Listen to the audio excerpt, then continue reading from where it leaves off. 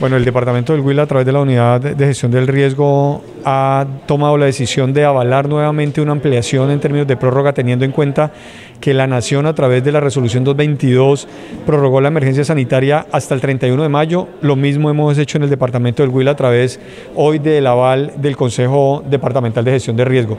Esperamos próximamente... Eh, expedir los actos administrativos una vez se haga la revisión jurídica del caso a través de eh, los abogados del departamento y eh, continuar pues avanzando en este proceso porque todavía queda mucha acción por realizar en tema de vacunación, en los procesos eh, de la atención en materia de COVID.